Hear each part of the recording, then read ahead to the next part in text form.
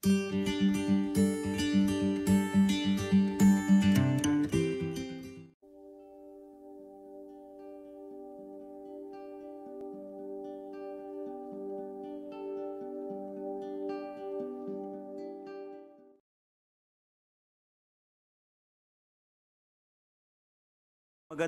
umaga po sa inyong lahat mga kapatid. Bago tayo magpanimula ay hayaan nyo muna na magpanimula tayo sa isang awit para bigyan natin ng karangalan at kapurihan sa mga biyaya na kalab sa atin ng ating Panginoon Diyos sa nagdaang magdamag ng aming buhay, ng ating buhay.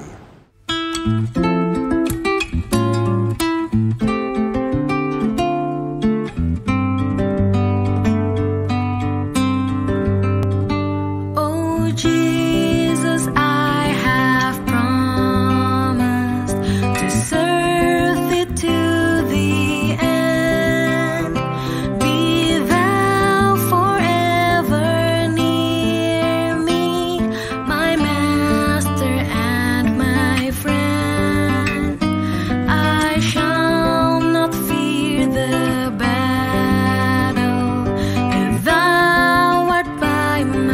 nice.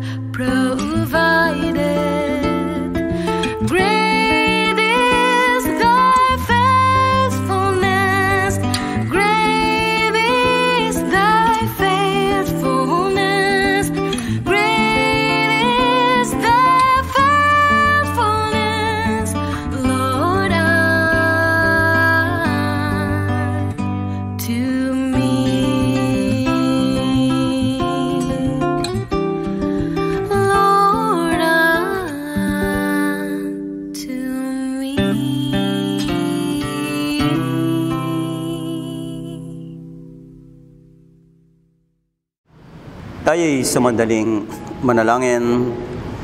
Patuloy dakila naming Panginoon Diyos na pinapupurihan at pinasasalamatan ka namin sa isang napakagandang umaga na inyong ipinagkatiwala sa amin. Bumangon at gumising kami sa aming higaan na bagong buhay at lakas. Taglay namin ang aming pagtitiwala sa inyo na muli nyo kaming samahan at ingatan hindi lamang sa isang napakagandang umaga, kundi sa buong maghapon ng aming buhay. Pero hayaan mo, Diyos, na magpapanimula kami sa aming pagdalangin o dalanginan sa inyo at mga salita na aming maririnig sa patuloy na pagsamba at pagpuri namin sa inyo, maraming salamat po sa lahat ng inyong mga ginawa sa buhay namin mula sa pagbangon namin. At hayaan mo na magpapanimula kami sa mga salita ng aming Panginoon Diyos. Sa pangalan ng Ama, Anak at ng Espiritu Santo. Amen. Kung meron kayong mga dalang mga Biblia na nasa tabi ninyo, ay hayaan nyo na makipagbuklat kayo sa akin at bumasa tayo sa mga salita ng ating Panginoong Diyos na itong magiging batayan ng ating mensahe at ng ating maiksing pagdili-dilian natin para sa ating panalangin at sa mga salita ng ating Panginoong Diyos. Ito po ay hango sa sulat ni Propeta Isaiah sa Kabarata 62 sa talatang 5 at hanggang 8. Ito ang magiging basihan ng ating disiplina na ating sinusunod pang araw-araw na mga salita ng ating Panginoong Diyos. Ganito ang winika ng ating Panginoon in verse 5. Tanging sa Diyos lang ako umaasa. Ang aking pag-asa ay tanging nasa Kaniya. Tanging siya lamang ang tagapagligtas, tagapagtanggol ko at aking kalasag. Akin ang tagumpay sa lahat ng oras. Ang kaligtasan ko't aking karangalan ay buhat sa Diyos. Nasa Kanya lamang, malakas ko siyang tagapagsanggalang matibay na muog na aking kanlungan. Sa mga kababayan sa lahat ng oras magtiwala sa Diyos at sa Kanya ilagak ang inyong pasaning ngayoy dinaranas. Siya ang kublihang sa ati lulunas. Pagpalain tayo ng ating Panginoon Diyos sa mga salitang ito na nabasa sa ating kalagitnaan. Muli tayong manalangin para sa ating Panginoon Diyos. Muli ka naming pinasasalamatan, dakila naming Panginoong Diyos sa mga salita na nabasa na iyong ibinigay sa amin na itong magiging batayan ng aming dalanginan sa napakagandang umagang ito. Hayain niyo, Panginoon, na ang mga salitang ito ang magiging laman at palatuntunan ng aming buhay. Ito ang magiging lakas at tibay namin simula sa oras na ito hanggang sa marami pang mga panahon at pagkakataon. Tanging ang inyong mga salita magbibigay sa amin ng daan tungo sa kaligtasan at karangalan ng inyong dakilang pangalan. Sa pangalan ng Ama, Anak at ng Espiritu Santo. Amen. Amen. Muli magandang umaga po sa inyong lahat mga kapatid. Kumusta na po kayo sa inyong mga kinalalagyan? Nawa ang patuloy na biyaya, patuloy na patnubay at kaligtasan ng ating Panginoon Diyos ay lagi ninyong tatamuhin, hindi lamang sa buong magdamag ng inyong buhay.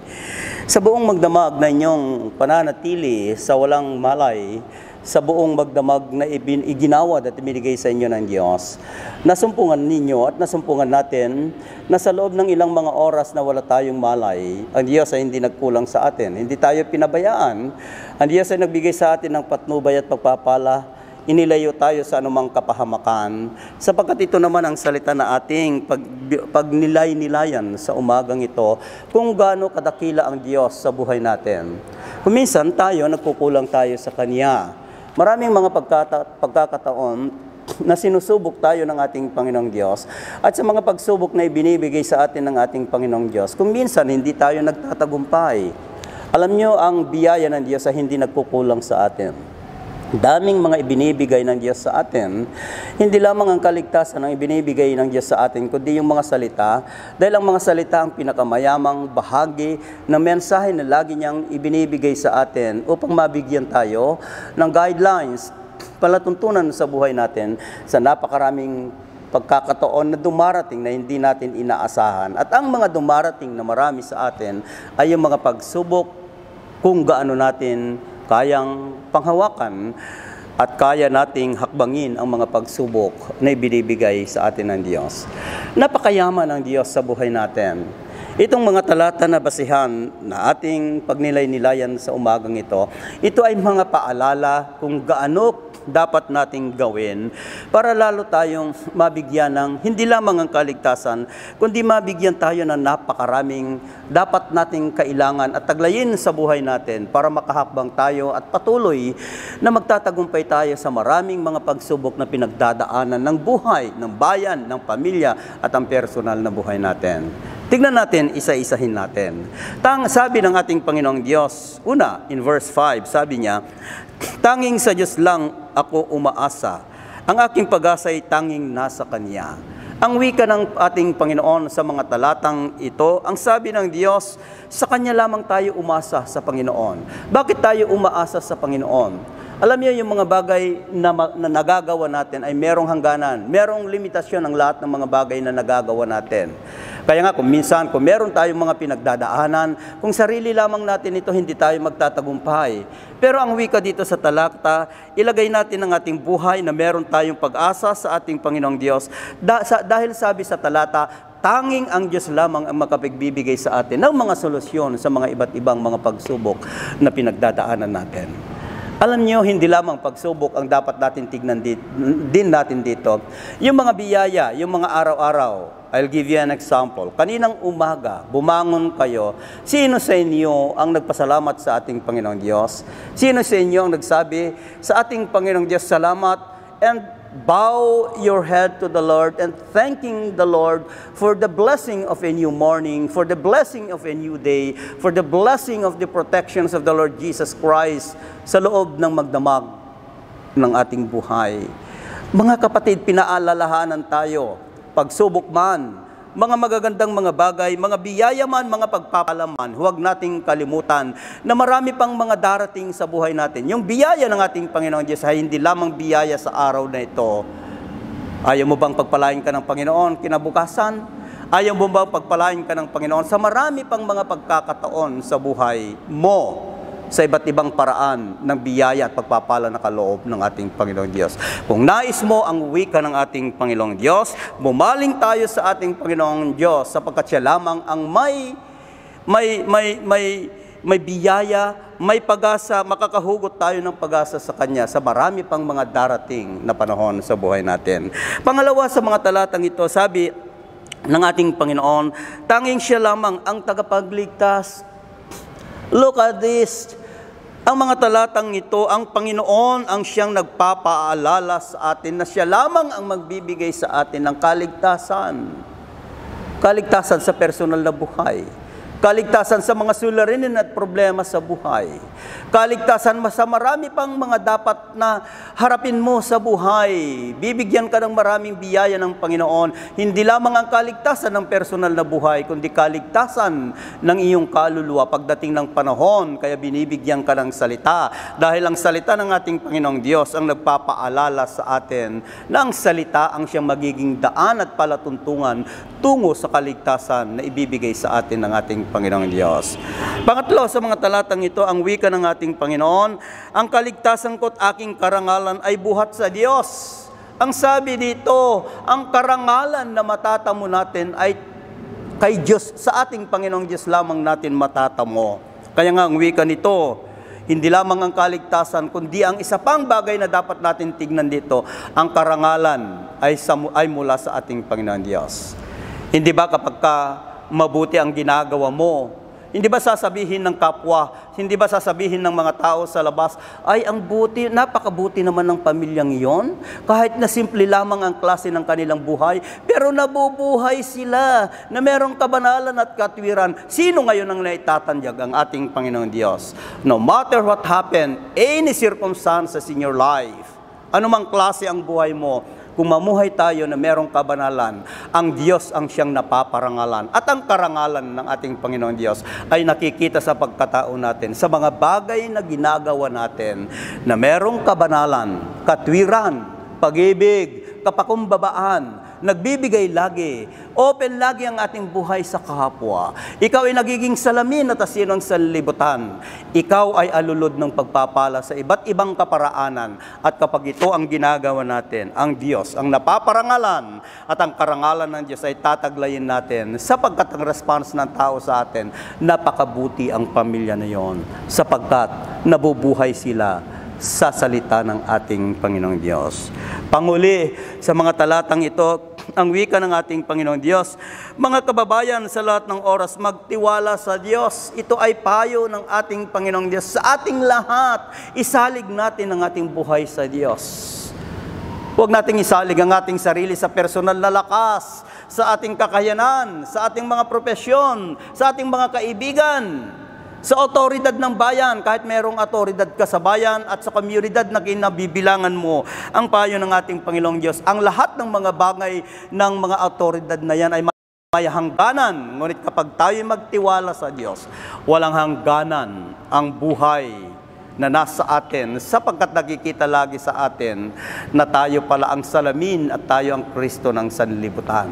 Pinaalalahanan kayo, ako, tayong lahat na isalig natin ang ating sarili sa Diyos at magtiwala tayo sa Kanya kung nais mo at nais ko at nais nating lahat na patuloy tayong pagpalain ng ating Panginoon Diyos. Ang dalangin ko sa inyong lahat at sa ating lahat, ang mga payo ng ating Panginoong Diyos, sa Diyos lamang tayo umasa, sa ang Diyos ang magbibigay sa atin ng kaligtasan. At kapag bamuhay tayo na merong karangalan, napupurihan lagi ang Diyos sapagkat ang payo sa atin, patuloy tayong magtiwala at isalig natin ang ating buhay sa ating Panginoong Diyos. Tayo sa mandaling manalangin. Banal naming Diyos na makapangyarihan, nagpapasalamat po kami sa inyong biyaya na iyong ibinigay sa amin. Pinasasalamatan ka namin sa mga paalala mo sa amin, sa mga salita na ikaw lamang ang aming pag-asa Umaasa kami sa inyo, natutugunan mo ang lahat ng aming mga pangangailangan. Meron kaming pag-asa kung lagi naming kasama si Kristo. Dahil ang, ang, ang magbibigay sa amin ng kaligtasan, tanging ang iyong anak, na aming Panginoon ang magbibigay sa amin ng kaligtasan. At kapag mamuhay kami na merong kabanalan at katwiran, O Diyos, napaparangalan ka at kami rin ay napaparangalan sapagkat isinabubuhay namin ang inyong mga salita. At ang lagi mong paalala nga sa amin, ano man ang mangyari sa buhay namin, magtiwala lagi kami sa aming Panginoong Diyos. Nawa ang mga salitang ito na narinig namin ay maging laman at palatuntunan ng buhay namin. Ikaw ang aming Panginoon na inaasahan namin. Ikaw ang aming Panginoon na magbibigay sa amin ng solusyon ng aming mga sularanin na taglay ng bawat isa sa amin. Yung mga kapatid namin na merong mga problema dahil sa karamdaman ng kanilang mga physical na kalagayan, mga problema sa kanilang mga hanap buhay, mga kapatid namin na nawawalan na ng pag-asa dahil sa iba't ibang mga kalamidad at pagsubok na dumaan sa kanilang mga buhay. Katulad ng paalala mo at salita na aming narinig, Ubasa kami sa aming Panginoon Diyos at ilagak namin ang aming pagtitiwala sa Kanya at magkakaroon kami ng matagumpay na buhay at matutugunan ng lahat ng aming mga panalangin at pangangailangan. Magkakahiwalay po kami panandalian sa umagang ito on this online devotion, dear Lord. But in this time, dear Lord, I now declare blessing be upon them, a blessing of peace, a blessing of love, a blessing of your wisdom and protections, a blessing of your word, so that they will continue in the journey of life and faith. Thank you so much for this reminder. And as we receive your blessing, we go out into our work into a place kung saan man kami pupunta. Ngunit ang paglabas namin at pagpunta namin sa aming mga trabaho, tataglayin namin ngayon hindi lamang ang iyong bendisyon, kundi tiyataglayin namin ang mga paalala mo sa bawat isa sa amin. Sa pangalan ng Ama, Anak at ng Espiritu Santo, ito po ang aming panalangin, kalaki pang bendisyon mula sa inyo. Amen.